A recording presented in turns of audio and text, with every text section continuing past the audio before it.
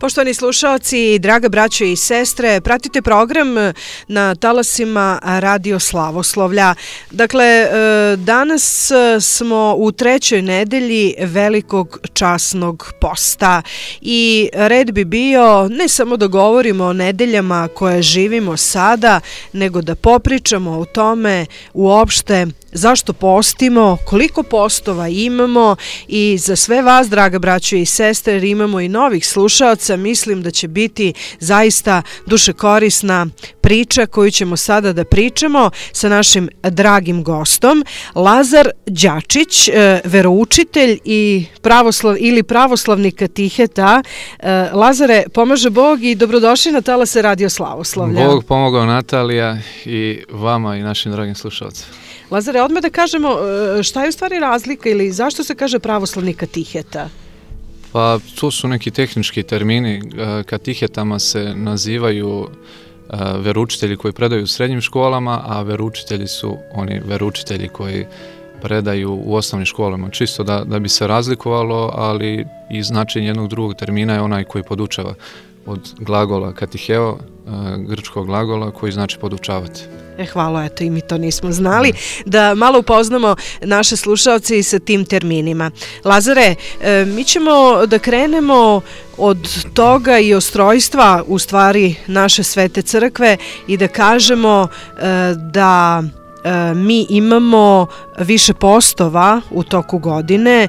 E, svi govorimo e, da idemo u crkvu za Božić i za Vaskrs, te pre, tom, pre tih velikih praznika predstoje nam i veliki postovi, dakle to je Božićni i Vaskršnji, međutim između toga imamo još dakle vremena kada postimo i naravno preko nedelje, sredu i petak, pa hajde malo da krenemo od toga koliko postova imamo i e, zašto postimo sredom i petak, kada nije post više nedeljni. Da, tako reći, veliki period u toku godine mi e, provodimo u postu i to verujem da naši slušalci dobro znaju da nema potrebe toliko da se zadržavamo na tome, ali eto preći ćemo ovaj, i preko toga.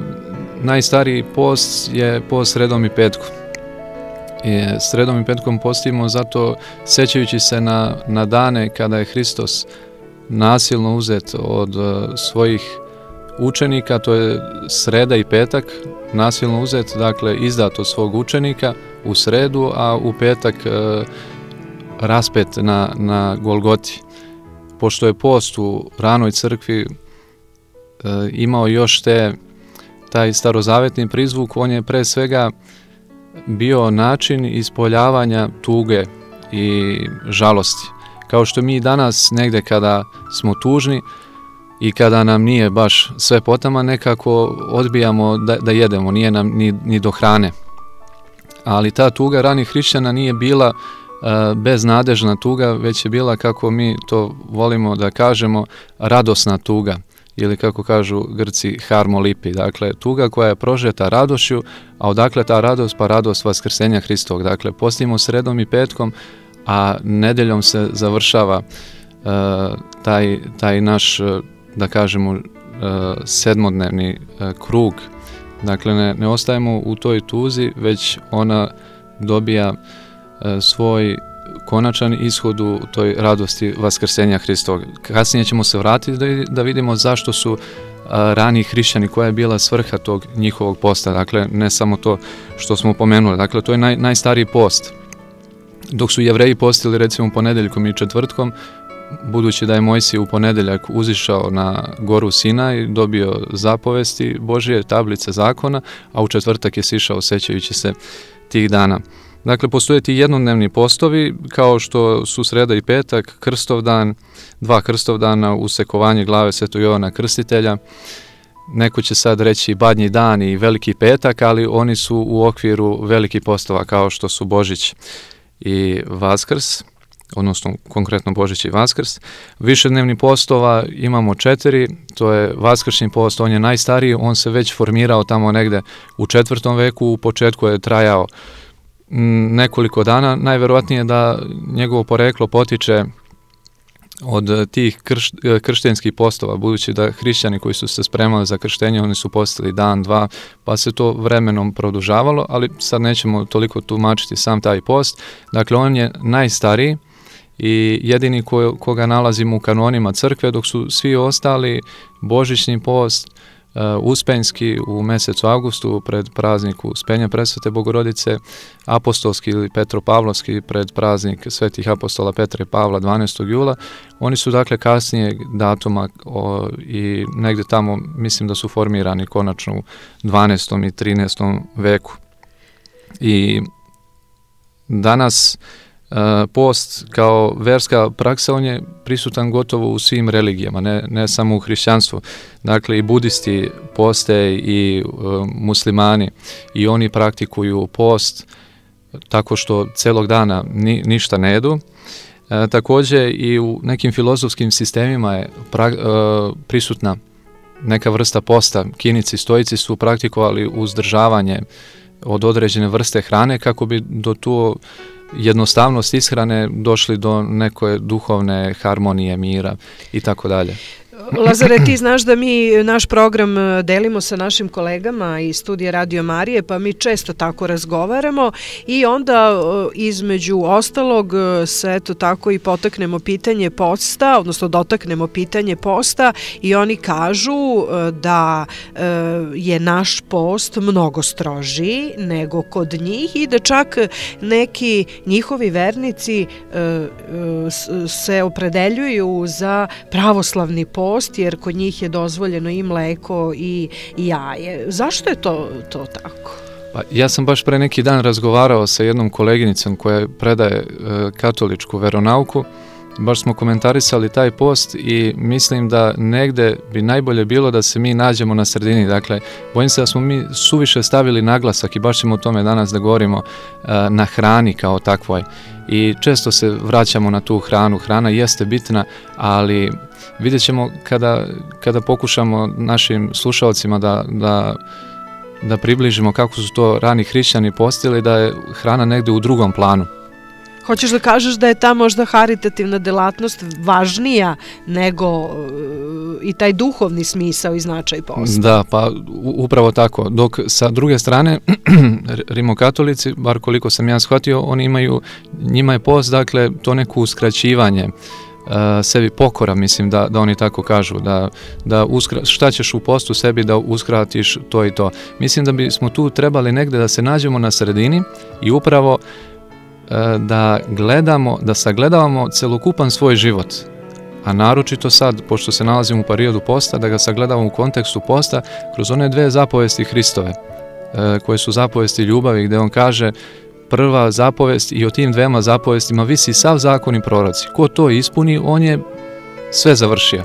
Dakle, imamo stari zavet koji u sebi sadrži toliko zakonskih propisa i ne, ne, ne znam čega sve ne Mojsijevi, zako, Mojse, Mojsijevo zakonodavstvo, a Hristos kaže sve to što tu piše ispunit ćete samo ako se držite ove dve zapovesti. Ljubi gospoda Boga svoga svim srcem svojim, svim bićem, svojim svim razumom, svojim svim umom svojim i kako, kako već tamo kaže, i druga zapovest, kaže to je prva, a druga zapovest je ljubi bližnjega svoga kao samoga sebe. E to je ono što ćemo mi danas pokušati, da vidimo kako mi e, praktič, praktikujući post možemo da ispunimo ove dve Hristove zapovesti o, divno što ćemo na tu temu da pričamo nešto više. E, pre nego što poslušamo jednu muzičku kompoziciju, ja ću samo e, da pitam i da nekako razjasnimo i da pokušamo e, o tome i ti da nam pomogneš u tom razjašnjavanju. Naime, kada počne post, onda smo imali recimo slušaoce koji su se javili, koji prvi put žele da se, žele da se odluče da, da, da poste i onda dovode sebe u zabanu. Ovo se sme, ovo se ne sme i onda se stvori jedan strah. A mi kažemo Bog je ljubav i, i, i jednostavno e, nije naša vera sva u strahu, ovo se sme, ovo se ne sme. A ako iznad svega toga, upravo ovo što ste i vi rekli, dakle, izdignemo tu duhovnu stranu, manje ćemo da razmišljamo o tome šta se sme jesti, šta se ne sme jesti, nego ćemo gledati, aha, šta ja to mogu da doprinesem, da, da učinim, da, da budem bolji čovek, a dana da razmišljamo o tome, o hrani. Jasno, jasno. Ljudi ovaj, uglavnom vole da izbegnu tu odgovornost i najviše vole da im neko kaže kako, šta, koja je procedura da dobije recept kao za palačinke recimo. Dobiješ ide, ne znam, tri jaja, ide toliko brašna, ti to završiš, dobiješ palačinke. Tako negde ljudi i u svom životu žele da, da im neko objasni kako, šta treba i da rade, koliko da posti, e, gde je voda, gde je ulje i tako dalje i on je miran, on je obavio svoj i sad mirne duše može da čeka za uzvrat nagradu od Boga, ali gde je ljubav u svemu tome i gde je naš lični i živi odnos sa Bogom i sa našim bližnjima, ako sebe tako ograničimo, ako ostvarimo, ako pokušamo da ostvarujemo sa Bogom taj kao što inače to se ljudima radimo kupoprodajni odnos. Ja tebi dam toliko, ti meni vratiš toliko, ja sam sad dobar hrišćanin. A mi hoćemo baš danas sa ovom emisijom da pokažemo da je e, suština svega toga što mi činimo treba, treba da budu te zapovesti o ljubavi koje nam je e, Hristos dao a kad je ljubav u pitanju, kada je vera u pitanju, tu nema pravila, tu ne može niko da ti kaže ver, treba ovako da veruješ, znaš danas ćeš ovako da veruješ, danas ćeš ovako da voliš, nego sam moraš da prođeš taj put, da ga krčiš, da, da vidiš kako ti možeš i koliko možeš u skladu sa onim što nam Hristos govori. Nastavit ćemo našu divnu priču, poslušat ćemo jednu muzičku kompoziciju.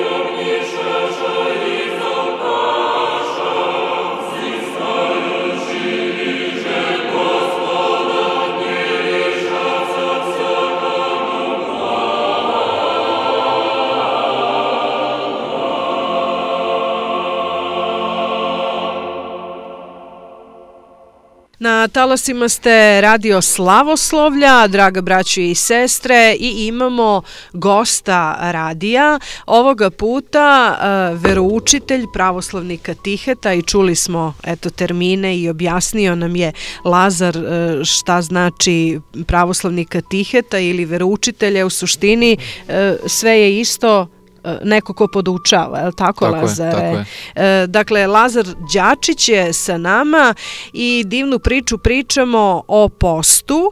E, Eto, ja sam rekla baš na samom početku, a Evo sad sam se i nadovezala. Lazare, e, u školama predaješ e, veronauku. Tako je. E, govorimo o postu. Kako e, svojim đacima objašnjavaš ili ako možda ima čak i pitanje šta je post? Pa da, to, to jeste osnovno pitanje šta je post. Ja njih kada pitam zašto mi postimo, uglavnom dobijem neke abstraktne odgovore. Svi pričaju o tom nekom očišćenju i tako koriste neke termine koje bojim se da ni sami ne razumeju. I ne samo oni, često puta ćemo sresti ljude koji su dugo vremena u crkvi, koji poste dugo, koji nam daju tako neke nejasne odgovore, verovatno ni sami ne, razume, ne razumevajući zbog čega i, i zašto poste. Jedan učenik mi je iskreno odgovorio, kaže, evo, ja ne znam zašto postim. Kaže, postim, ali ne znam. Tako, valjda je to nasledio, to mu je neko rekao da treba i kaže, eto, baš me zanima da, da pričam o tome. I onda sam ja tako krenuo što jednostavnije i što konkretnije e, da, da objasnim svojim učenicima šta je to post. A da bismo bili konkretni moramo da vidimo kako ga mi to ispoljavamo u odnosu sa, sa, sa drugim čovekom, kao i sve ono što činimo. I malo pre smo pomenuli da post nije karakterističan samo za hrišćanstvo, da ga praktikuju i druge religije i onda se on i projavljuje u raznim oblicima. Kao izraz tugi pokajanja, kao sredstvo milostivljenja nekog božanstva, zavisi u, u, kog, u koga verujemo, očišćenja i dolaska do višeg stepena duhovnog saznanja i uzrastanja kao priprema za razne religijske obrede, ali danas možemo videti da post više nije stvar neke religijske orijentacije, budući da postoje mnogi razlozi zbog kojih se ljudi odriču od hrane, ako govorimo ovde o uzdržanju od hrane, na primjer zbog zdravlja ili zbog dobrog izgleda. E sad, razumevanje posta u ranom hrišćanstvu bilo je daleko drugačije. I to toliko drugačije da smo mi nekako potpuno skrajnili tu samu e, suštinu držanja posta, staviši u prvi plan upravo ove motive koje smo sada naveli, dakle, nekako tu hranu i sve te neke stvari koje nam i nisu baš do kraja jasne. Šta je to specifično za ranohrišćansko razumevanje posta i kakvog to značaja može biti za, dan, za nas danas, to je ono što ćemo nadalje da govorimo ja ovde ne bih se previše zadržavao, mogli bismo sada da krenemo sa novim zavetom da vidimo kako tu post funkcioniše, to je neka tema možda za neku drugu emisiju. Ali sad Ali, bi... Lazare, moram samo da, da, da postavim pitanje Crkva nas uči i učenje koje je 2000 godina utemeljeno, ali nekako uh, život koji živimo sada uh, i koji je bio onda kako možemo sada to nekako da, da izbalansiramo, da, da, da, da, a da ostane srž? Jasno, jasno. Dakle, da bismo mi razumeli poruku Hristovu, danas, da bismo mi razumeli evanđelje, mi moramo da razumemo šta je značilo to što je Hristos govorio onda. Ako razumemo šta je to značilo u onom vremenu, vrlo lako ćemo to da, tako kažem, da preformulišemo, da prilagodimo našem vremenu. Dakle, da ostane ta, ta poruka, suštinska poruka koju je Hristos želeo da nam a, prenese. Hristos kada govori o postu, on uvek govori u kontekstu pouka o praštanju, o davanju milostinje i činjenju dobrih dela, odnosno onim najjasnijim izrazima hrišćanskog života. I sad ne znam koliko to ljudi obraćaju pažnju, a bojim se da redko ovaj, možemo čuti i u besedama sveštenika kada se čita evanđelje u mesopusnu nedelju pred početak velikog posta jedno divno evanđelje o strašnom sudu Hristovom ili o posljednjem sudu u kome se otprilike ovako govori. I ja ću sad pokušati kroz to evanđelje našim slušalcima da e, objasnim kako nas to crkva kroz taj evanđelski odeljak savršeno uči šta je, šta je post. Dakle, imamo taj jedan evanđelski odeljak koji se samo tu čita, samo jednom u toku godine pred, pred početak velikog posta.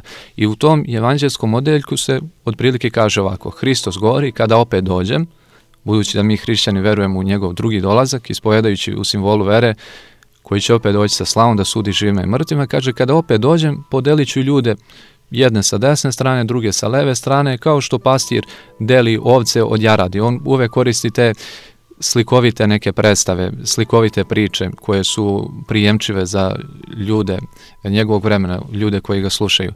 I onda kaže, reći ću ovima sa desne strane, bio sam gladan i vi ste me nahranili, bio sam žedan, vi ste me napojili, bio sam bolestan, vi ste me posetili, bio sam stranac, vi ste me primili, danas možemo reći bio sam migrant, bio sam, uh, bio sam u tamnici, vi ste me posjetili i tako dalje i onda su oni zapanjeni ti koji ga slušaju, kaže gospode kada smo mi to tebe videli i sve ti to učinili, on kaže kada ste učinili onom mom najmanjem bratu, to jest onom čovjeku kome smo zaista bili potrebni, kada smo ga nahranili i tako dalje, kaže kao da ste meni samom učinili.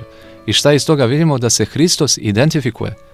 Pazite, identifikuje se sa svakim čovjekom koji strada. I kaže, ako njemu učiniš, meni samom si učinio. I sada kada pokušam da, da približim to svojim učenicima, kažem, to je slično kao što se roditelj identifikuje sa svojim detetom. I onda kada učiniš nešto dobro e, njegovom detetu, roditelju, kao da si sto puta više učinio. Sa druge strane, kada učiniš nešto nažao, kada učiniš nešto loše, roditelj je sto puta više povređen nego dete koje možda to i, i zaboravilo, ali roditelj nekako to nosi. I sada kako dalje teče priča, Hristo se obraća onima sa leve strane, govorim iste stvari, samo menjajući, niste učinili. Bio sam gladan, niste me nahranili, bio sam žedan, niste, niste, niste. I onda oni opet zapanjeni, zbunjeni, kažu, gospode, kada mi to tebi nismo učinili, ali im odgovara isto ono što je rekao ovima sa, sa, o, lev, sa desne strane, kada niste učinili onom čoveku kome ste bili potrebni, odnosno kada niste pokazali mrvicu ljubavi, onda niste ni meni samom učinili. A kako možete biti sa mnom? Kako možete biti moji ako nemate ljubavi u sebi? Ako sam ja Bog ljubavi? Kako, može, kako možete biti moji? I njima govori idite, ne znam, u pakao, u, u oganj večni, a ovima sa desne strane govori nešto u tom smislu uđite u raj koji vam je pripremljen. Sad ja to parafraziram. E sada, E, samo da te pitam, e, e, molim te, e, počeli smo o tome e, da, da, da, da, da kažemo koliko je važno, naveo si tu praštanje, je li da, tako? Da. Praštanje, dobročinstvo, pomoć drugima, da, milosrđe, da. milosrđe.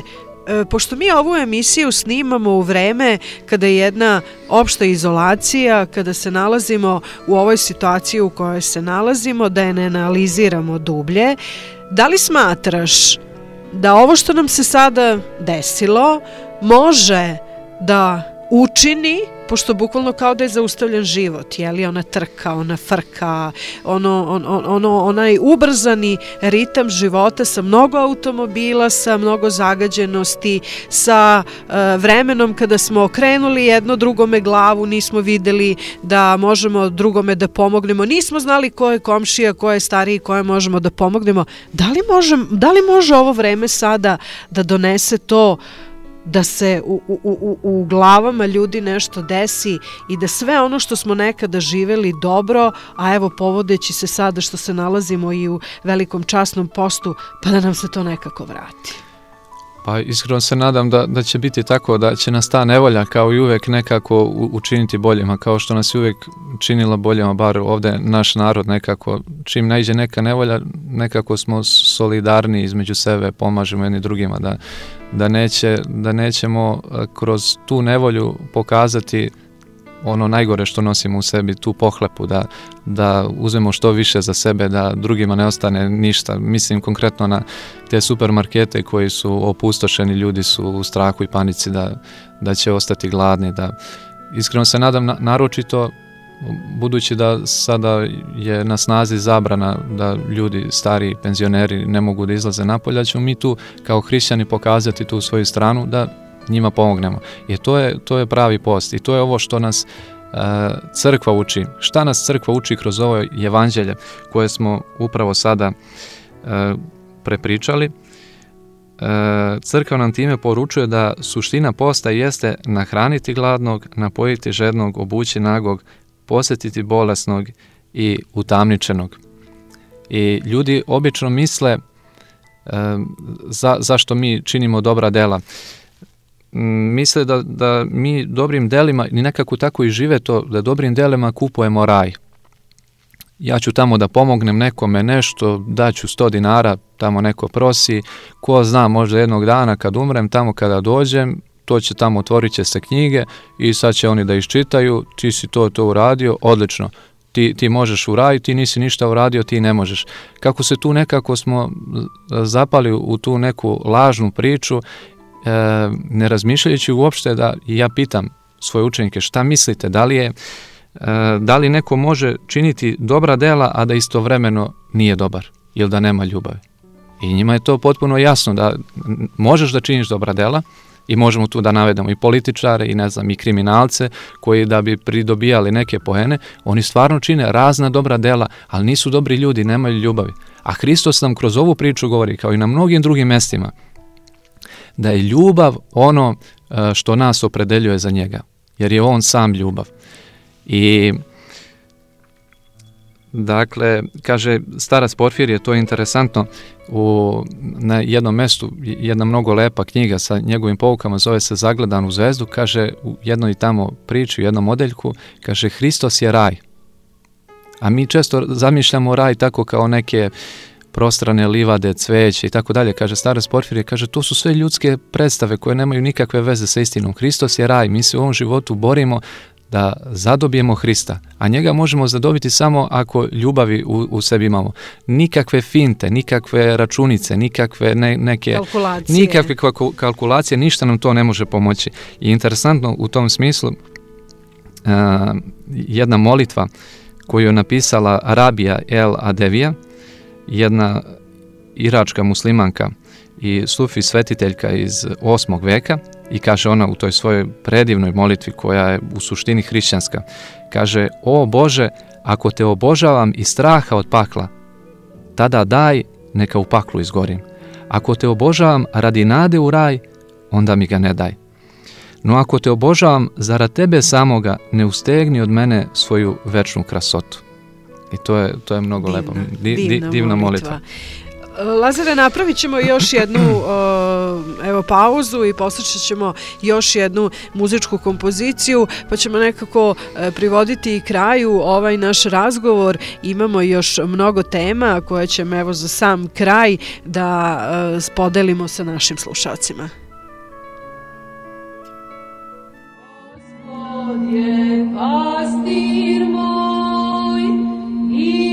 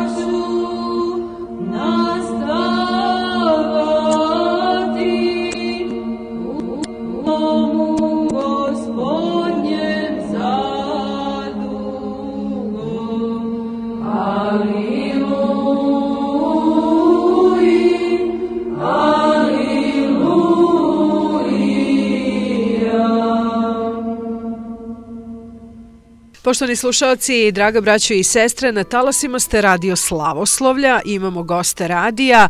E, pravoslavni katiheta, veroučitelj Lazar Đačić je sa nama i pričamo divnu priču o postu.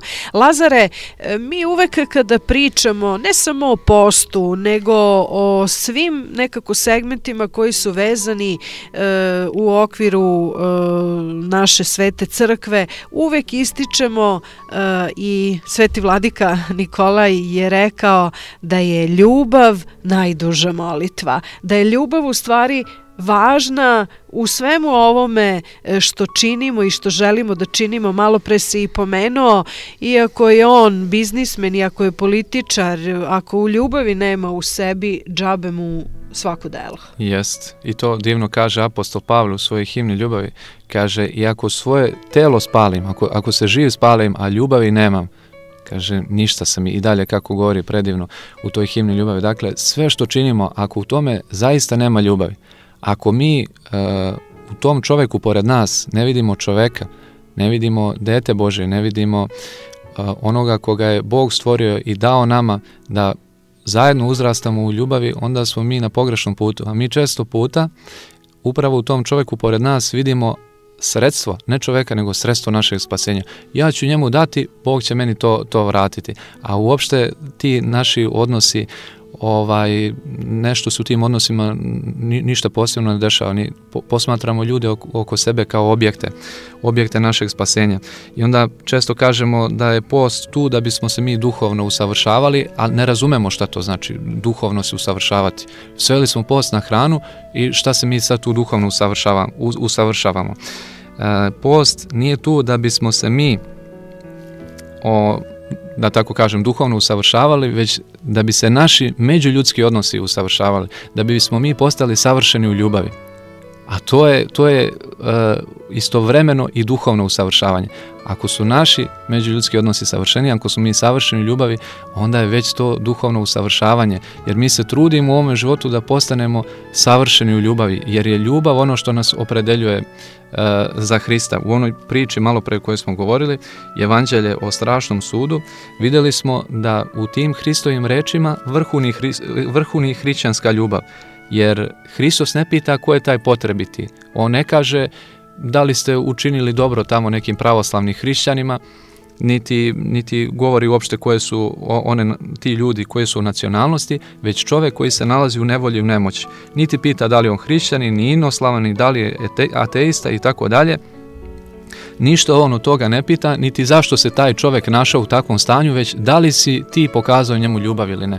Ako si mu pokazao ljubav, onda si ti moj, jer ja sam tokom svog zemaljskog života apsolutno svakom čovjeku pokazao ljubav. Čak sam i sa krsta na Golgoti, sad parafraziram o Hristove reči, čak sam i sa krsta na Golgoti svojim neprijateljima rekao Bože, oprosti im, ne znaju šta rade. Da li smo mi svesni iz tih Hristovih postupaka, iz onoga što je on govorio i što je radio, da li smo mi svesni da, da je Hristos apsolutno u svakom momentu, u svakom trenutku svog života pokazivao isključivo jedino ljubav i da li mi iz toga razumemo da Bogu nisu važni naši postupci, kako mi to često mislimo, da nas On prati, da On piše, da On beleži naše postupke, već da, su, da, nam je, da je njemu važan motiv zbog koga to činimo. Da li je motiv u svemu tome što činimo bio ljubav ili ne? I naš motiv često puta nije ljubav, već nam je motiv da li ćemo mi dobiti taj raj i, i da, da li ćemo tamo završiti u tom nekom paklu. I sad zanimljiva je jedna priča koju sam čuo od jednog beogradskog veroučitelja, on je sada sveštenik, kako on objasnio to šta je pakao i raj. Kaže, vidite u jednoj školi ima jedna devojka koja se iskreno zaljubila u jednog dečaka, iskreno ga voli, prvi put se zaljubila, njena ljubav je potpuno čista, nema ovaj i ona je lepa devojka, ali ovaj nju uopšte ne voli, on nju ne može organski da podnese. Jednostavno, jednostavno mu se ne sviđa, bez obzira na njenu iskrenu ljubav. I ona tu njega nešto cima, ona njemu maše, on nju izbegava, njemu on on kada je vidi njemu se ceo svet prevrne, po, izbegava je tamo kroz, u školi, po hodnicima, beži od nje i tako dalje. I šta nam u stvari govori ta priča? Pa to je u stvari slika onoga e, sa čim, ćemo, sa čim će se svak, svako od nas sresti. E, Hristova ljubav, iako je iskrena, iako je e, čista, iako je savršena, za nekog će biti raj, a za nekog će biti pakao. Upravo zato, uh, upravo u skladu sa onim šta smo mi poneli iz ovog života, šta, šta nosimo u, u, u, za, u onom životu večnom, sa, sa čime mi ulazimo u tu večnost. Ako imamo ljubavi u sebi, mi ćemo Hrista prepoznati kao svog ako kao svog Boga, ako nemamo ljubavi u sebi, njegova ljubav će za nas da bude pakao, kao što je pakao za onog dečaka koji, koji o, jednostavno ne, ne voli o, onu devojku. Dakle, nisu, zašto mi činimo dobra dela? Ne činimo mi dobra dela da, da bismo se Bogu dopali, da, da bismo ga obmanuli, da bismo nekako uleteli u taj raj. Činimo dobra dela da bi se taj plamičak ljubavi, ta iskrica ljubavi koju nosimo u sebi što više razgorevala da bi postala oganj ljubavi. A taj oganj ljubavi koji su u sebi razgoreli, to su upravo svetitelji kojima se mi svakodnevno molimo i koje slavimo da, da nam oni budu uh, uzor i primer koji treba da sledimo i samo završam sad sa ovom jednom uh, kratkom uh, rečenicom interesantan misao koju sam čuo od našeg dramskog um-, umetnika Nebojše Dugalića, kaže pakao nije ništa drugo nego nesposobnost da se primi ljubav. I to smo videli za ove priče. Nesposobnost da se primi ljubav, to, to je pakao. I sada možemo da zamislimo negde nas okupljene oko Hrista, za jedne je ta ljubav pakao, a za druge ta ljubav raj. Kao što recimo negde u učionici, za nekoga ta lekcija koja se predaje može biti nešto najlepše što je čuo u životu, a za neke tuđake oni se tako smaraju, njima je to dosadno, jedno negde preživljavaju pakao u svojoj duši. Tako da pakao i raj su stvari stanja u kojima mi živimo. Kako je starac tada govori, govorio, raj počinje ovde. Dakle, mi ovde se već opredeljamo za taj raj ili ne opredeljujemo. Ko ima uši da čuje? Da, neka čuje. Tako da, da ovaj, nadam se da iz ovoga razumemo kolika je naša odgovornost. A mi često mislimo, Bog će tako, tako odlučiti kako će on da uradi i šta će da uradi sa nama. Ne, nego mi odlučujemo o, i o svom večnom životu. Lazare, e, kada krene post, mi onda često govorimo da u stvari, e, a tako smo i počeli naš razgovor, ta telesna strana posta nije toliko važna, mislim važna i telesna i duhovna, ali nekako stalno pozivamo naše slušaoce na tu duhovnu stranu, dimenziju samoga posta. Pa smo često i sa sveštenicima našim razgovarali kada krenu krsne slave, pa kad se napravi ogromna gomila hrane i kada nešto već samo pravimo samo zato da možda taj neko ko je slavio prethodnu slavu nema više nego ja, e, a ne, ne, ne gledamo o tome da ono što je ostalo hrane možemo možda nekome da pomognemo ili da udelimo nekome ko ne može toliko da pojede. E, u razgovoru pre nego što smo se ušli u studio čula sam jednu divnu priču koju si počeo i meni da pričaš o tome kako se u ranom hrišćanstvu postilo i šta je u stvari bio značaj samoga posta. Da.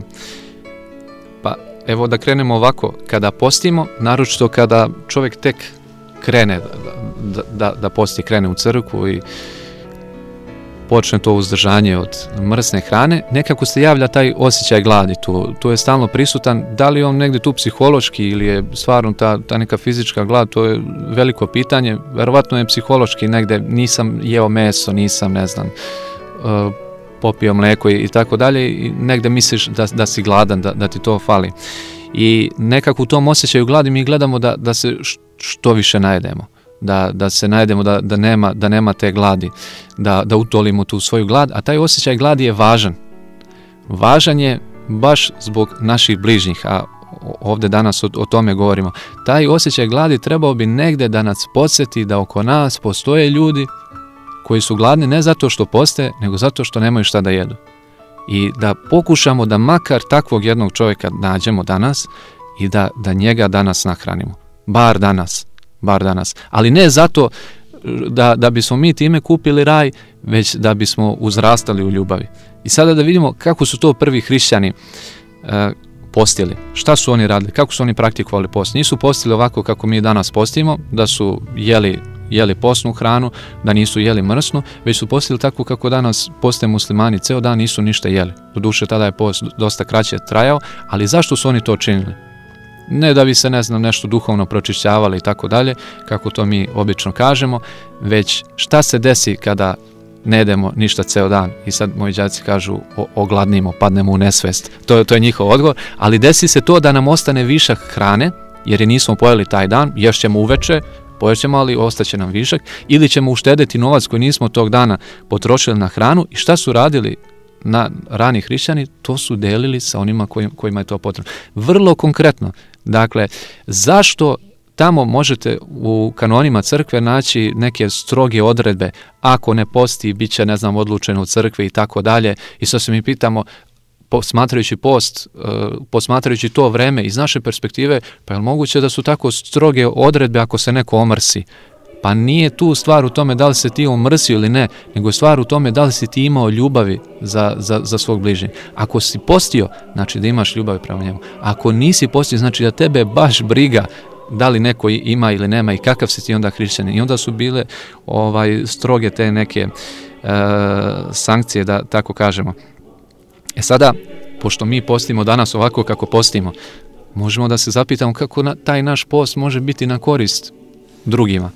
I onda ima jedno interesantno rešenje koje kaže da tu postnu hranu kupujemo od ljudi koji tu hranu proizvode jer njima živo zavisi od toga. Znači umjesto da idemo po supermarketima koji su nam tu na dohvat ruke, krompir, jabuke, neko voće, povrće, bilo šta drugo, kupimo čovjeka tu iz naše okoline sa pijace koji živi od toga. On ima samo to da ponudi. Tamo u nekom supermarketu je svejedno da li ćemo mi kupiti krompir danas od njega ili ne, zato što će ne, doći neko drugi, kupit će čips, kupit će, ne znam, neki sok i on će da zaradi. Ali čovjeku koji živi samo toga od, ne znam, ima ribnjak, prodaje ribu, njemu je veoma važno da mi kupimo danas to od njega da bi mogao da izdržava svoju porodicu. I to može biti isto tako i van posta.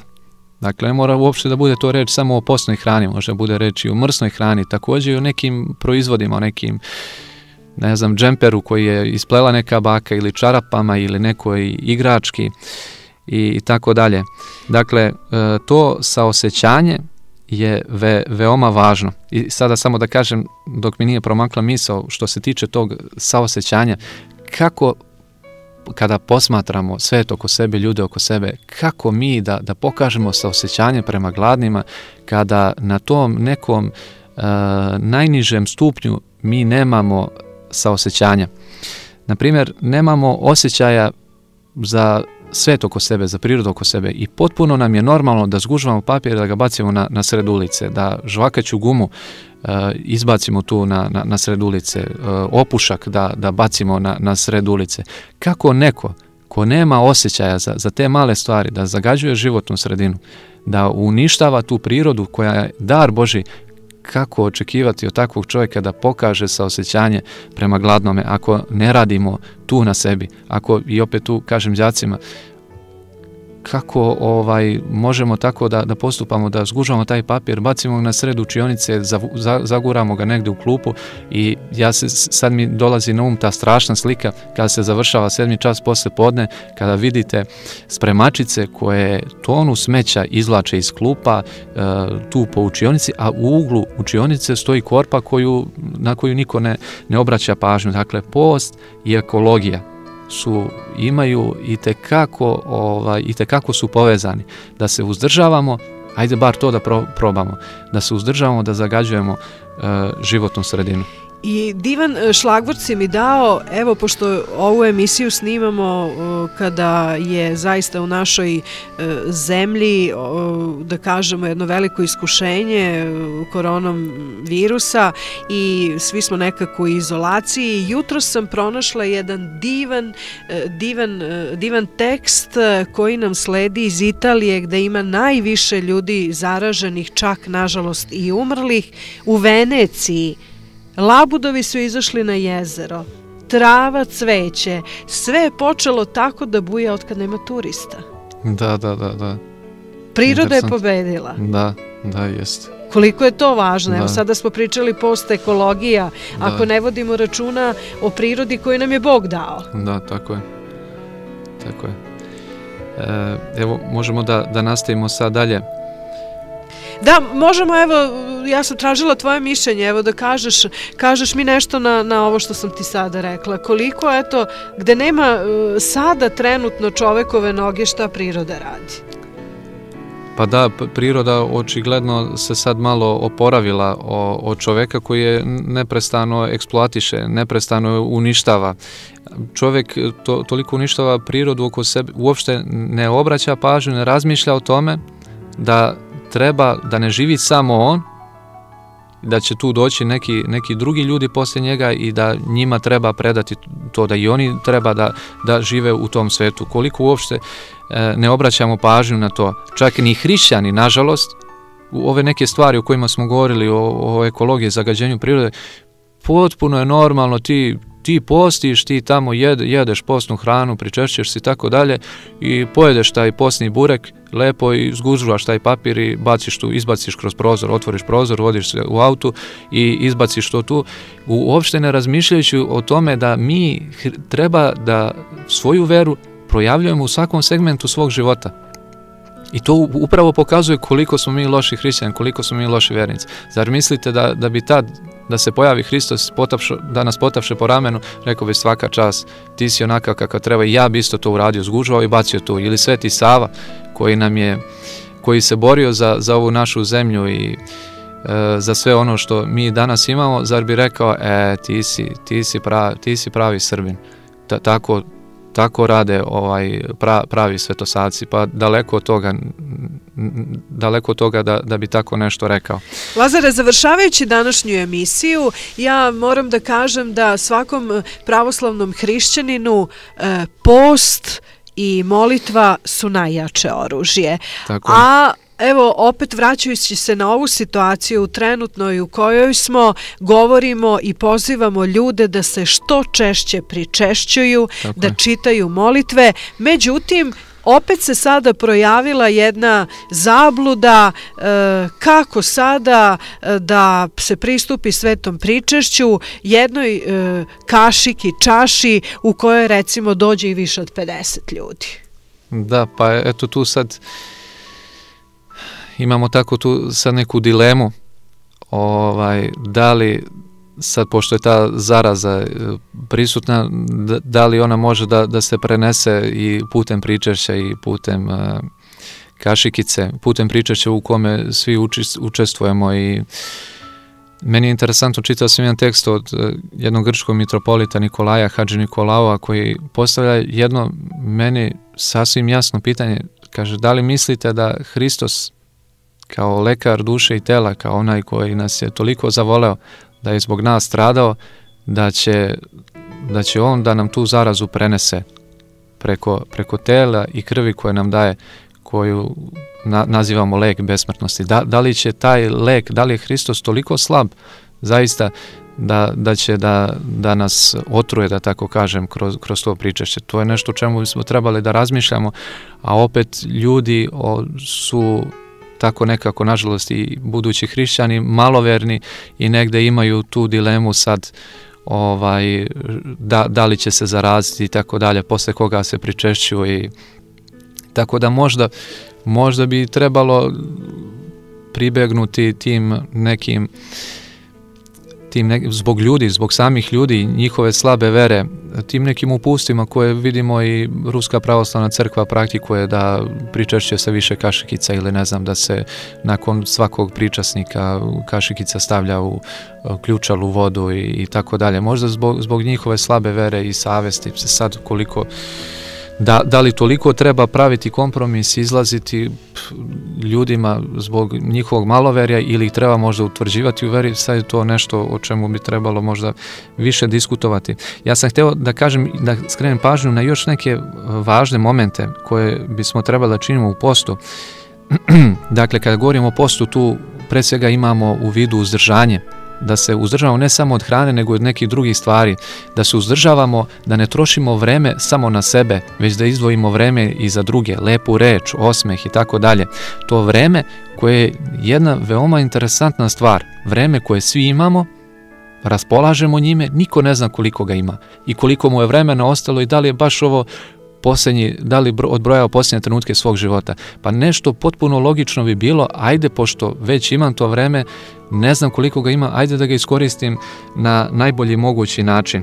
I mislim da nikada kao da. pre nije potrebno sada kada smo svi u izolaciji, kada smo zatvoreni, baš da upotrebimo tako lepu je. reč jedni prema tako drugima. Je. Tako je. Post je isto također tu dobar i to ne smemo da zaboravimo on jača našu volju. Ukoliko smo spremni da se uzdržavamo nečega, da sebi nešto uskratimo, naša volja automatski postaje jača, dok sa druge strane vidimo ljude, naročito decu danas kojima je sve pruženo, koji u tom izobilju, sve im je dato, roditelji misle iz ljubavi prema njima, sve će im dati, ali ta deca postoji tako bezvoljna, e, lenja, ne, nezainteresovana i tako dalje, baš zato što nisu doživeli taj neki nedostatak, neko da im nije bilo nešto uskraćeno. Također je važno sad i na to treba obratiti pažnju, e, da bismo trebali u toku posta da se uzdržavamo i od e, preterane upotrebe i telefona i televizije i od svi, sve te neke gomile informacija e, sa kojima nas svakodnevno bombarduju i kojima mi, mi ovaj sami sebe bombardujemo, sami se izlažemo takvom jednom da, da, da kažem, da se tako izrazim, teroru informacija. Sad, našao sam nešto interesantno u vezi sa tim kod oca Olivera Subotića, gde on govori o tom uh, informacionom uzdržanju i veoma interesantno kaže ovako, osjetljivo srca je znatno snižena kod prosečnog medijskog konzumenta, pazite, osjetljivo srce, koji u toku jednog dana samo sa TV-a prikupi ogroman broj podataka različitog sadržaja. I ti sadržaj mogu da budu E, radosnog tipa, tužnog, lepog, ružnog, zdravog, bolesnog i oni su nasumu, nasumično poređani, gde se bez reda smenjuju informacije različite tematike.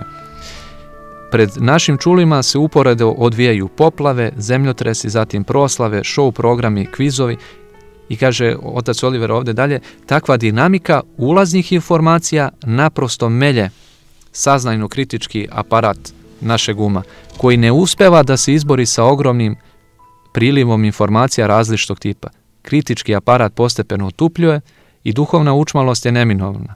Cilj je da se kroz informacijono uzdržavanje taj saznajni aparat izoštri do te mere da lakše prepoznajemo korisne od beskorisnih i štetnih informacija. Dakle, tu je važna ta osjetljiva srca. Koliko puta mi često čujemo tako neku užasnu tragediju i jednostavno pređemo preko toga kao da se ništa nije dogodilo. Baš zato što smo samleveni od uh, tog velikog priliva informacija. Lazare, ja mislim da ne da smo povezali post i nekako današnju situaciju da. upravo sa ovom e, divnom konstatacijom e, oca Olivera Subotića, Subotića koji je zaista mnogo pričao da. o tom informacionom sistemu i kako se on upotrebljava u, u, u hrišćanstvu, Jest. odnosno među vernicima.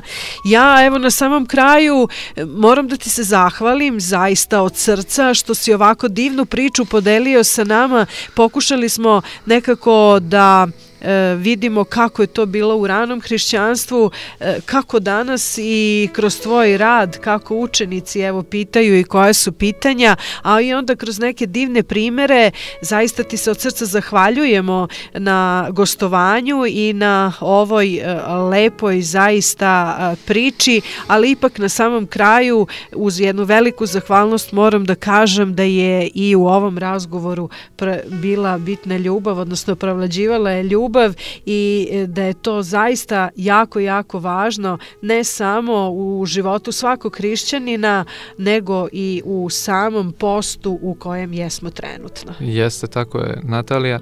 I nadam se da smo iz ovoga mogli da vidimo da e, gospod ne traži od nas sad neke nadljudske podvige, da, da mi drugima podignemo kuću ili ne znam ja šta, da, da udomimo sve one beskućnike, već da pokažemo samo tu makar mrvicu ljubavi prema drugima i post kao odricanje od hrane mora da bude proprećen svim ovim momentima o kojima smo govorili da bi on zaista bio hrišćanski, da bi, da bi bio evanđelski. I sad u toku posta mi bismo trebali da se preispitujemo kakvi smo mi to uh, hrišćani, kakvi smo mi to ukućani, kakvi smo mi to ljudi uh, prema onim, prema onim ljudima koji nas okružuju. To negde najbolje možemo da vidimo kakvi smo iznutra, kada e, vidimo kakvi smo sa ljudima sa kojima smo neprestano u kontaktu, sa, sa, našim, sa našim ukućanima.